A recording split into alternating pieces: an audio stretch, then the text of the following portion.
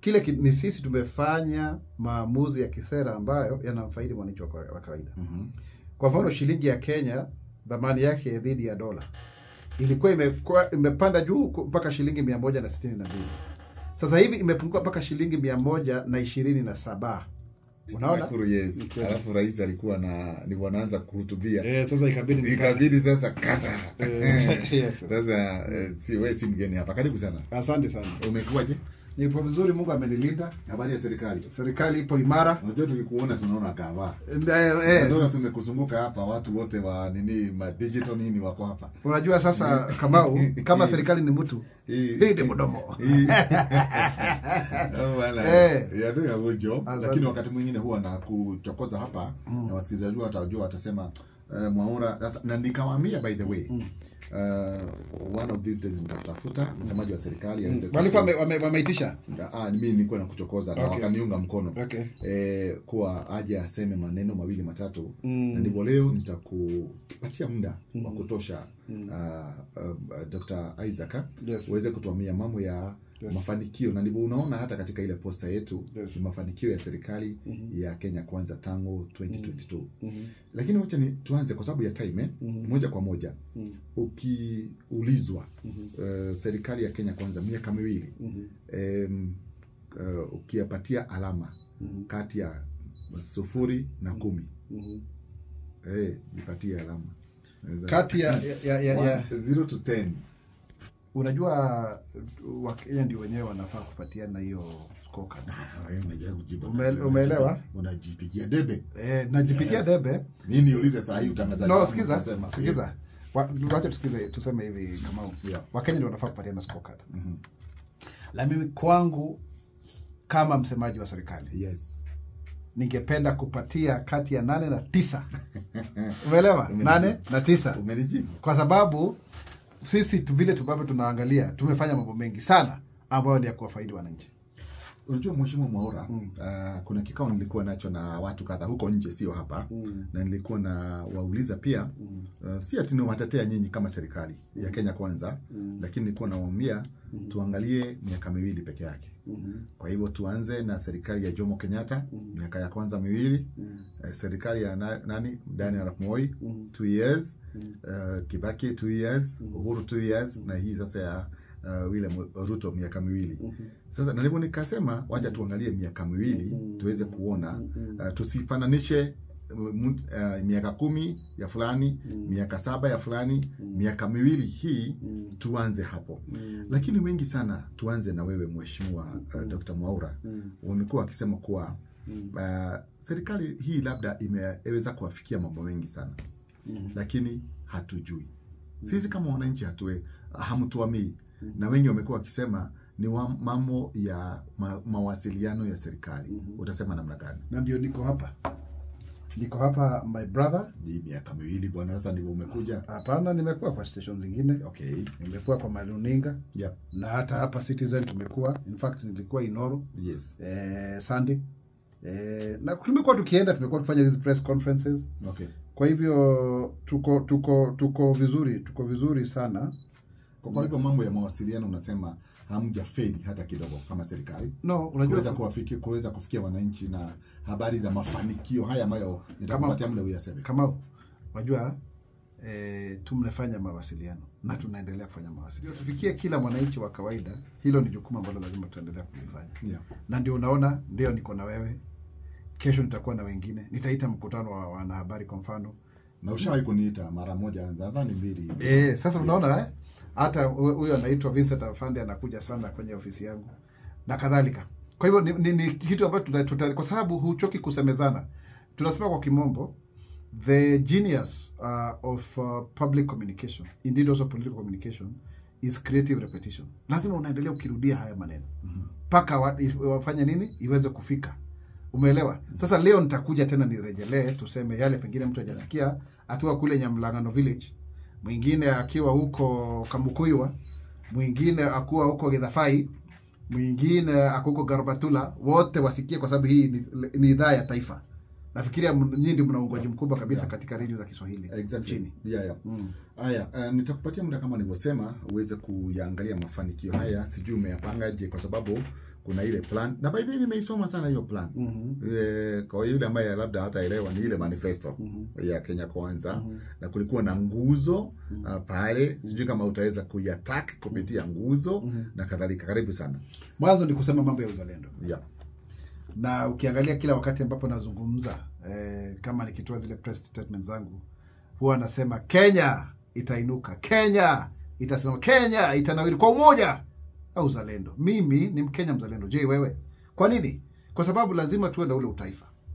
Lazima tuupende nchi yetu na ndiposa tuichukulie kama nchi ambayo itatusaidia sana katika kuhakikisha kwamba vizazi vilivyoko na vile vinavyokuja haviishi katika hali ya maskini na uchochole na kwamba kuna kuna faida ya umoja wetu na kujumuisha maneno ndiposa watu waweze kufaidi kutokana na miradi ya kiserikali miundombinu miundo misingi na kadhalika.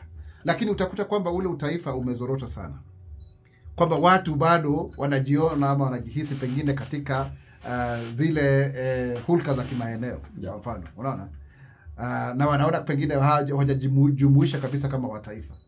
Na nashukuru sana katika kwa sababu uchaguzi uliopita kwa mara ya kwanza kwa muda mrefu nafikiri ilikuwa mwaka mbili na, na mbili ndio tulikuwa tumeenda tukio kama lile wakenya wengi waliweza kupiga kura pasi kuzingatia misingi ya kikabila. Mm-hmm. lakini uzalendo ni kusema nini? Ni kusema kwamba ndivyo kuna mambo ambayo yanatendeka lakini kwa sababu ya kupenda nchi yako huwezi ukaiuza huwezi ukaisaliti. Ndiposa mkenya wa kawaida yeye mwenyewe ajione ajihisi kwamba kuna kitu ambacho anakijivunia. Kwa mfano tunakuwa tukisema hivi hata kama nyumbani kuna matatizo lakini haya matatizo sio lazima kwamba tuweze kusema kwamba e, e, tunajianika tuna, tunajianika sijui unanielewa hapo hivyo? Mm. kwa hiyo mimi naona kuna mambo mengi sana ambayo yanaweza kutendeka. Tukiangalia the better plan. Na ni vizuri niseme kwamba mimi ndo niliandika the first draft hiyo the better plan. Mm -hmm. e, ilikuwa ajenda kumi tukakuja zikakuja uh, ile bo- bila bottom up. E, the bottom up economic agenda. Yes. Um, uh, mwaka wa mbili na na, na, na ishirini na moja eh, huko mwezi wa mwezi wa Mei na niseme kwamba hivi eh, ndugu yangu eh, kama munyo kwamba kuna mambo mengi sana ambayo yanatendeka katika serikali lakini watu wengi sana hawajaweza kujua.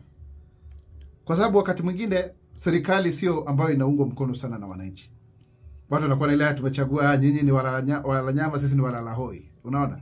Lakini tuangazie tuliweza tuna mihimili mitano pillars ukipenda ambazo zinashughulika na masuala ya mwananchi wa kawaida kila ambacho kwa mfano kama sasa hivi tunajua e, e, ni mambo ya bei ya, ya, ya, ya bidhaa za nyumba. Kwa sababu asilimia hamsini na tano ya fedha zote ambazo zinatumika katika nyumba hutumika katika chakula.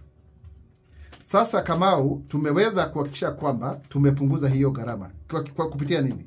Wakati wale wapinzani wetu walikuwa katika uongozi na wengine tulikuwa kwa pamoja na wao lakini tukakosana tuka, tuka tuka ama tukaenda njia, njia mbadala njia panda eh, walikuwa wanatumia fedha za kiserikali kuweza kufanya unga wa mahindi eh, urudi shilingi mia moja.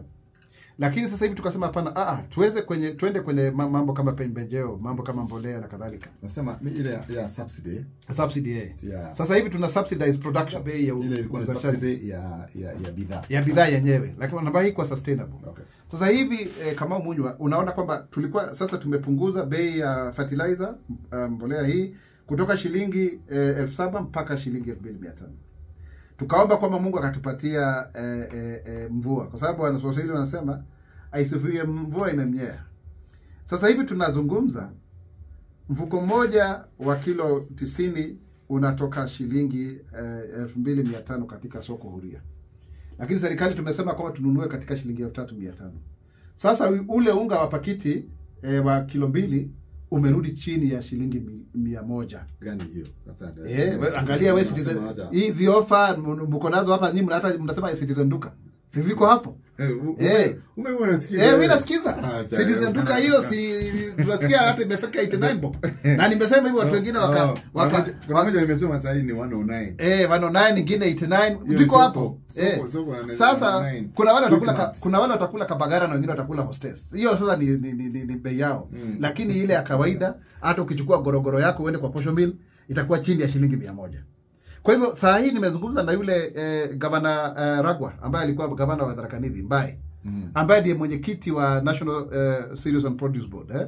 Eh, halmashauri uh, ya, ya, ya kimataifa ya nafaka nchini yes. shirika la nafaka nchini anasema kwamba ana mahindi zaidi ya kutosha unaona na sisi kama serikali tumeagiza kwanza magala haya yote yaweze kufanya nini kufunguliwa ndio wakenya waweze kununuliwa mahindi yao kwa hivyo wakenya sasa hivi hilo sio jambo wengine wataka kusikia kwa sababu tuliweza kuliafikia na wakati wa uchaguzi kila mtu alikuwa anasema unga unga unga sio tu unga peke yake. Okay, fine. Nilikuwa nikuuliza kama ni unga peke yake ama ni bidhaa ambazo ni za kimsingi za kutumika na Wakenya. Bidhaa za kimsingi kwamba zimerudi chini eh, kweli kama The basic commodities. kwa mfano unaona mfumuko wa bei Inflation. eh? yeah, inflation sasa umeweza kutoka kutoka asilimia eh, sita mpaka asilimia tatu nukta mbili nukta saba kumradhi Mbili no? Mbili na- mbili kum- kum- na- Two- nukta- two- 2.7 eh percent, eh? Eh, 2.7%. Inflation. Sasa nikuulize, hilo ni jambo ambalo linatokana na nini? Wengine wanasema ni market forces tu. Hapana, mitandao by the way. hapana, hapana. Leo leo hii nilikuwa naangalia. Alafu wanasema ni market forces si mambo ya serikali ya Kenya. Unajua, hapana, hakuna kitu inaitwa market forces. Kile ki, ni sisi tumefanya maamuzi ya kisera ambayo yanamfaidi mwananchi wa kawaida. mm. Mhm. Kwa mfano, shilingi ya Kenya thamani yake dhidi ya dola ilikuwa imepanda juu mpaka shilingi mia moja na sitini na mbili sasa hivi imepungua mpaka shilingi mia moja na ishirini na saba unaona mm -hmm. hilo ni jambo ambalo zuri kwa, ni, kwa nini tukakuwa pale kama tungaliweza kulipa ile eurobond zaidi ya shilingi bilioni mia mbili na themanini e, kama mwenye mm -hmm. ndugu yangu hata shilingi ya kenya ingefika shilingi milioni shilingi mia mbili kwa dola Okay. dhamani yake hilo ni jambo zuri zaidi kwa sababu kuna watu walikuwa wametegemea kwamba kenya haitaweza kulipa madeni yake tuko hapo eh? Mhm. Jambo la pili, tumeweza kupunguza matumizi yasiyo ya muhimu katika serikali kwa kiasi kikubwa sana, Kama gani? kama mambo ya usafiri, mambo ya ununuzi hata magari, mambo ya mi- mi- mi- kufanya renovations kwa maofisi na kadhalika. Tumepunguza kwa kiasi kikubwa zaidi hapo. Jambo la tatu, vile ambavyo tuliweza kusawazisha bei ya mafuta kwa masikilizano ya kununua ama eh, kunadi hii bidhaa kununua hii bidhaa kutoka katika nchi za eh, Saudi Arabia, Qatar na kule UAE imetusaidia sana mambo ya Saudi Aramco na kadhalika, kwa sababu sasa hivi sio tu watu wanategemea wao wanafanya artificial shortage. Alafu wanakimbia katika maziwa makuu kuja kutafuta nini? Eh, kutafuta eh, bei ambazo eh, ni, ni za hali ya juu. Ile artificial shortage ambayo tulikuwa tuli witness sana mwaka mbili mwenyewe kama mtathmini wa e, uchumi maendeleo development economics mwaka elfu mbili na kumi na nne niliweza kusema kwamba yule ambaye atakuja kuwa rais wa Kenya mwaka mbili ishirini na mbili hatakuwa na nchi ambayo atakuwa anaweza kuimudu. Si sikuwa anajua kwamba mimi ndo takuja kuwa msemaji wa hiyo hiyo serikali Mm. kwa sababu tulikuwa tunaona ile mikopo ambayo ilivyokuwa inaendelea. Tumeingia katika mfumo huu wa ugatuzi ambao tukishachukua kodi shilingi bilioni mia nne zinakwenda katika uh, maeneo gatuzi ya 47 ikawa sasa ni mchakato mkubwa kwa sababu kuna kuna kuna kuna pia taasisi nyingi sana ambazo tulizozibuni katika eh, katiba hii yetu mpya na ambayo nimetuwezesha hata watu kama mimi nikawa mbunge nikakuwa seneta na kadhalika. Sasa gharama ikakuwa inaongezeka zaidi. Lakini ule uzalishaji kwa sababu ya ile mkopo kwa sababu ukishachukua mkopo ni aidha uchukue katika eh, soko la hapa nchini ama soko huria la kimataifa.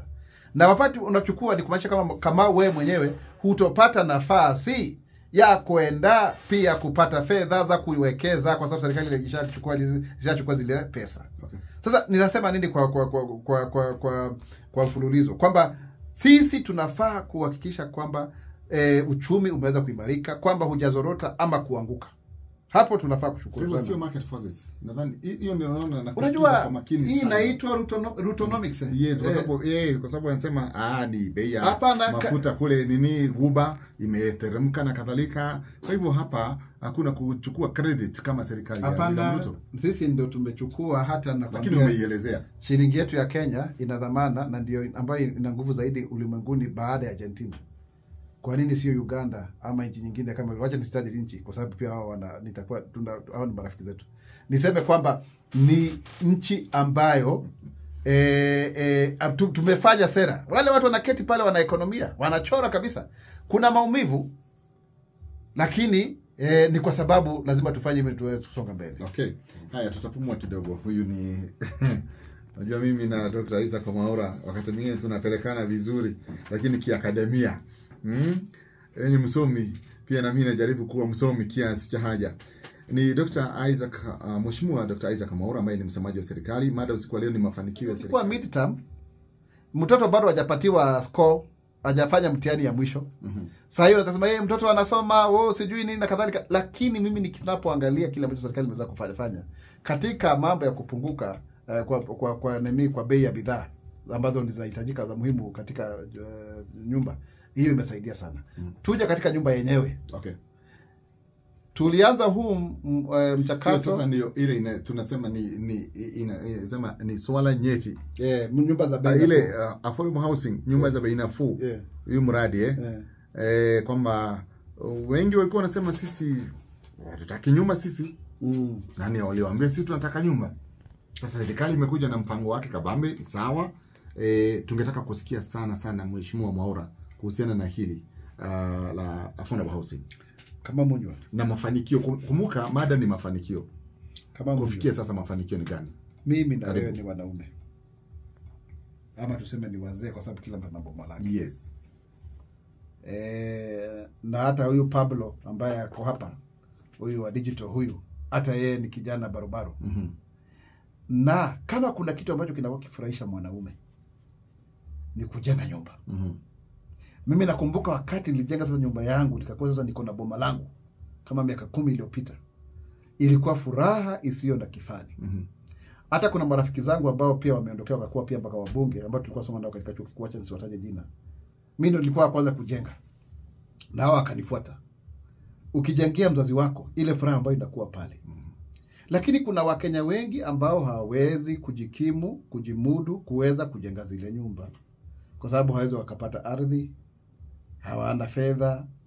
Ukiangalia ile mortgage, mikopo ya ujenzi wa nyumba tunahitaji zaidi ya nyumba elfu mia mbili na hamsini kila mwaka, lakini tu ni elfu hamsini tu ambazo tunaweza kupata kutokana na na, na soko soko huria mm -hmm. ambapo unaona kwamba wewe unakwenda just miko- mikopo eh, hamsini, elfu hamsini. Serikali inanuia kujenga zaidi ya nyumba elfu mia mbili kila mwaka kwa miaka mitano inayokuja. Hizo ni nyumba milioni moja. Kila familia kwa mara nyingi inakuwa na watu watano, wanne, watano hao ni taweza kusheheni zaidi ama kuwa yani watu ambao wataweza kusitiriwa wapate nyumba wapatiwe hadhi watu zaidi ya milioni tano. Sasa hivi tunavyozungumza, kumekuwa na kesi, kumekuwa na mvurutano, malumbano tu mengi, lakini mwishowe tumeweza ku- kuvuka huo mpaka, na sasa hivi tunatozwa zile pesa za za ujenzi wa nyumba za nyumba za bei nafuu mm -hmm. na niseme kwamba uh, kama Munywa, mimi mwenyewe nalipa pesa nafikiri zaidi ya shilingi elfu kumi na mbili kwa mshahara yangu na niko na niko na kwangu eh? unaelewa mm -hmm. lakini kama nitalipa ili mkenya wa kawaida aweze kufaidika niko, niko tayari kama mza, mkenya mzalendo niweze kutozwa hizo fedha hizo ada na ziweze kumsaidia mkenya wa kawaida tuelewe hapo mm -hmm. na sasa hivi ukiangalia mambo ya hizo pesa wakati tunaweza kufanya ta, eh, tuna, tuna, tunafanya tunafanya tarakimu hapo tunahesabu hesabu za ku- kukodi eh, kwamba hizo pesa zinaondolewa deductible income. Kabla yani zinaondolewa ndiposa unaambiwa utalipa ushuru wa kiasi kipi. Na tunapozungumza sasa hivi kuna zaidi ya nyumba elfu mia moja na ishirini na nne ambazo zinazojengwa katika miradi sa- sa- sabini na tano kwa kaunti themanini na saba. Hizi zimeweza kuwaajiri zaidi ya vijana wetu wa Kenya wetu elfu mia moja. Kuna hili pia la kuajiri hasa a, rudia hapo sasa basi. Hapo hapo kama unaona wakati tunazungumza mambo ya uajiri wa, wa Kenya nimekuwa na mama anaitwa Lilian kule Homa Bay. Yeye anauza chakula katika pale Homa Bay eh, housing hapo Koginga Mhm. ameniambia ameweza kusomesha watoto wake wawili katika shule ya upili. Yeye mwenyewe wakati ule nilikuwa nazungumza na yeye alikuwa atengeneza shilingi elfu tatu kila siku. Mm huyo mama mboga. Kuuzia mafundi. Kuuzia mafundi. Mm. Mama mzuri sana ambaye anauza, anauza nini bwana? Ni kweli na yeye ni, ni single mother eh? Tukakuja hapa tukapata mama mwingine aitwa Chebole hapa mm. hapa Ruiru. Akatuhadithia vile ambavyo pia yeye mwenyewe ako na mahali pa kwenda kila asubuhi tukapata mwingine anaitwa Mary pale Makenja akatuambia huyu alitushangaza anatengeza shilingi elfu thelathini kila mwezi na ukiangalia zile nyumba kama niko Kwale shilingi elfu mia tano unapata nyumba. Kwa hivyo unalipa elfu hamsini unalipa zile zingine kadha kadha. Kule Makenji unalipa uh, 960,000 kwa ni bet bed. Ukikuja kama ni hapa Ruiru bei ambazo huwezi ukanunua shamba pale kwa sababu ni shamba ya seri, shamba la, la, la, la serikali alafu tunatumia ile PPP wanatengeneza na kampuni ya kibinafsi alafu unaanza kulipa yes yaani hata ni, kuna mwanahabari mmoja hapa wa Royal Media, sitaki kumtaja jina, anajijua nikisema hivyo, ambaye ameniuliza juzi anataka kununua nyumba pale Thika, kwa sababu eh, Thika pia tuna miradi mm -hmm. tarehe 9 Agosti mwaka mbili ishirini na, na, mbi- na tatu tulikuwa na mheshimiwa rais tukizindua mipa- miradi pale Thika. Unaona, okay. tafadhali Wakenya tuingie katika mradi huu. Zaidi ya Wakenya elfu mia tano na arobaini na saba wamejisajili katika boma yangu.